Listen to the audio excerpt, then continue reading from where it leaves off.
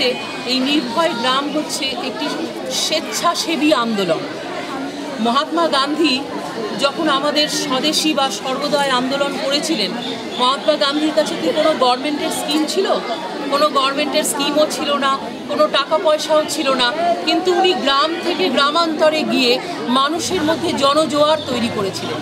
এই মহাত্মা গান্ধীর দেশের মেয়ে আমরা।